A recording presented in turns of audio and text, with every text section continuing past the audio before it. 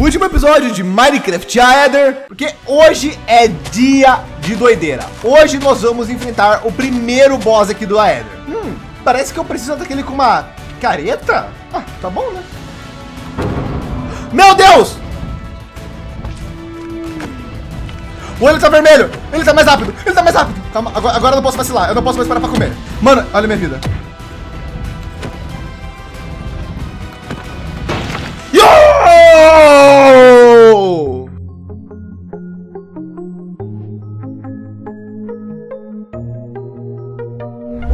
Coelhinho algodão doce, na minha opinião, é a criatura mais fofa do Aether. Mas tem uma que pode competir com ele logo de frente. Mas primeiro, é, algodão doce, você poderia...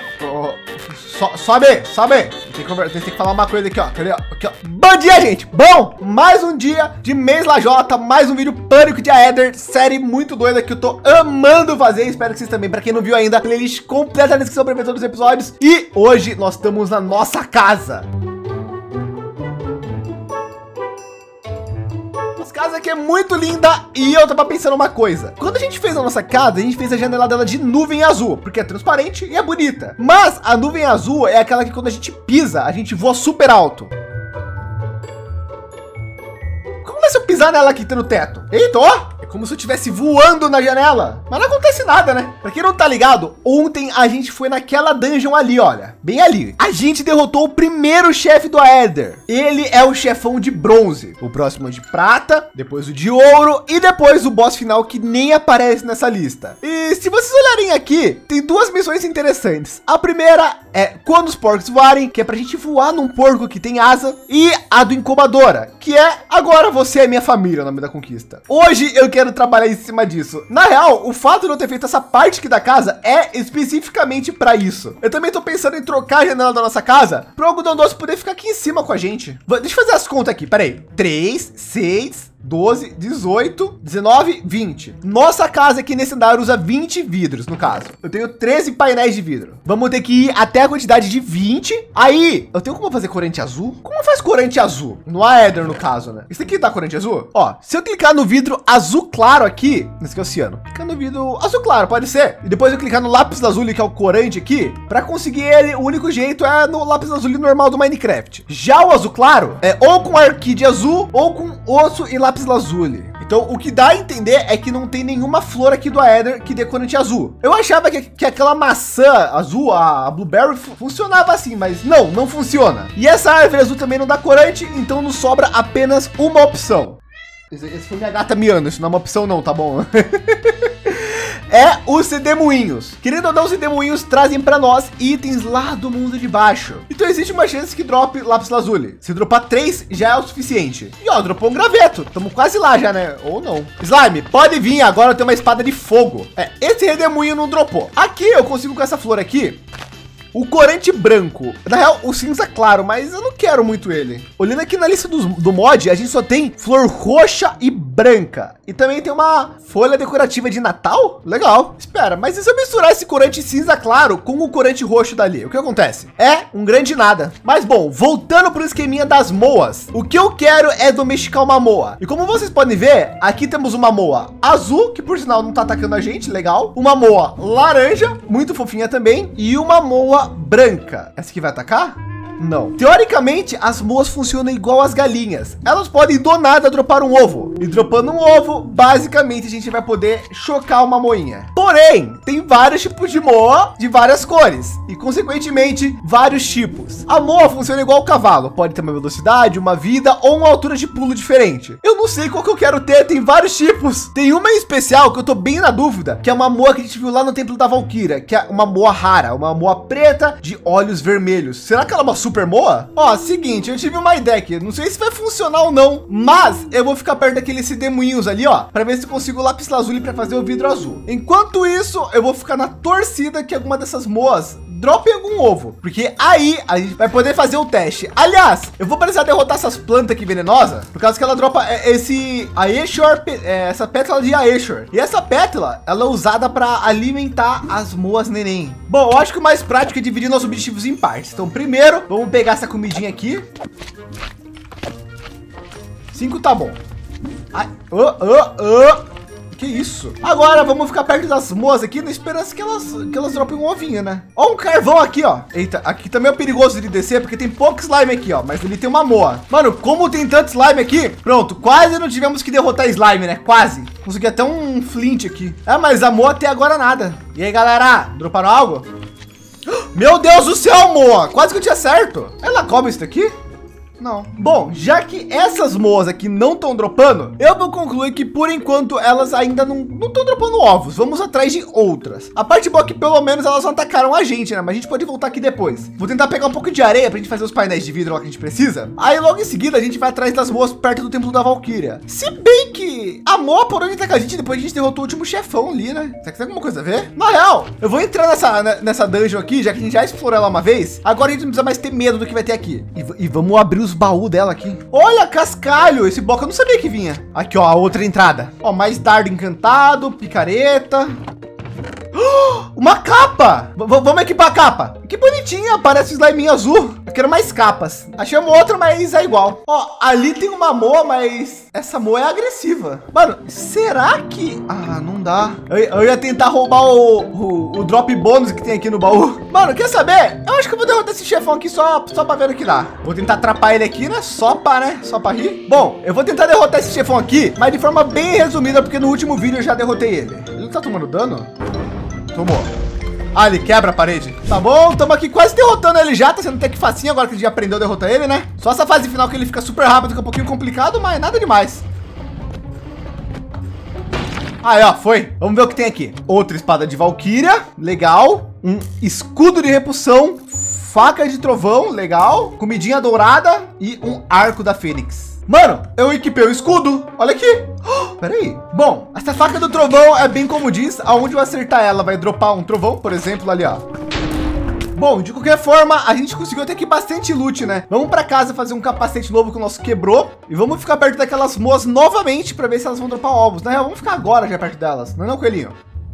Que pelo que eu entendi, ué, o escudo de repulsão não me defendeu? Mas enfim, pelo que eu entendi, as moças que não atacam a gente são as que podem dropar ovos. Ué, mas as moças que estavam aqui sumiram, que ela é venenosa. Bom, fazer o que, né? Vamos para casa, guardar esse montão de coisa e se preparar para encontrar uma moa até elas droparem os ovinhos. Na real, elas estão aqui. Já droparam um ovinho? Não. Bom, mas se elas estão aqui até agora, eu acho que elas não vão embora. Então, mesmo assim, vamos guardar nossos itens.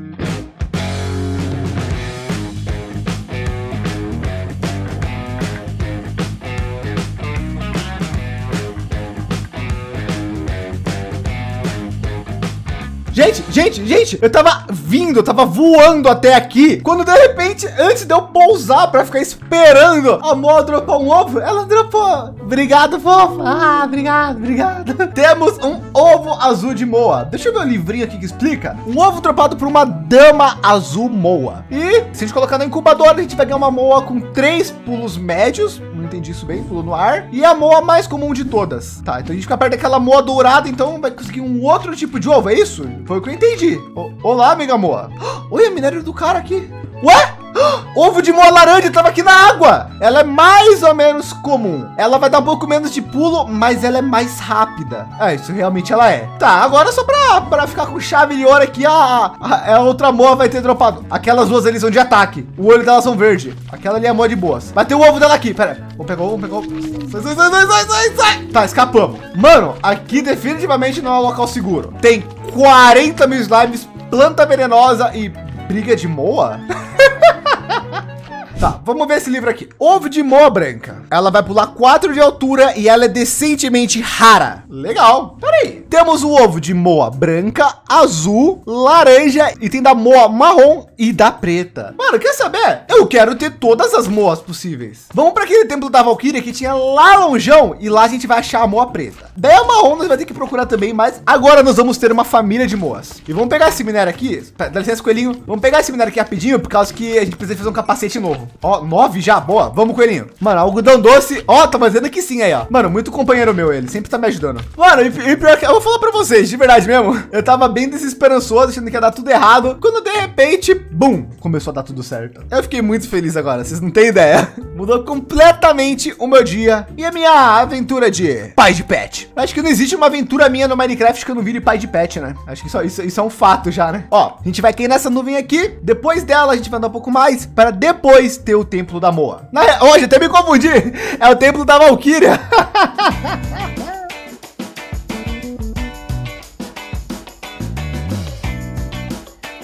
Olha só, estamos aqui já no Templo da Valkyria, pertinho de casa. E aqui nós temos uma moa meio laranjada, que talvez seja marrom. E temos uma moa azul escura com olho vermelho. Será que essa é a moa preta? Vamos, vamos descobrir aqui, ó. É, nenhuma delas estão atacando a gente. Nossa, olha essa daqui, mano. Ela parece até malvada, né? Tenebrosa. Mas, bom, nenhuma delas, e nem essa azul aqui, e nem o porquinho estão atacando a gente. Então, acho que a única coisa que nos resta é ficar aqui tranquilo esperando, né? E aí, vocês já viram falar do mês Lajota? Ô, oh, mês Lajota é da hora, hein? Dois vídeos todos todo dia no canal do Lajota. Menos quando ele para para descansar um pouquinho, porque cansa, né? Mas cansa às vezes. Olha, escudo ativou de nada. Acho que é shift que ativa o escudo. Bom, acho que não me resta muito fora esperar agora, né? Gente, passou tanto tempo que eu até prendi eles aqui para ficar mais fácil. A Moa Azul acabou de entregar um ovo. Eu vou, eu vou, eu vou pegar? Não, deixa ele. E eu acho que eu vi mais um barulho. Então, teoricamente, as duas Moas já...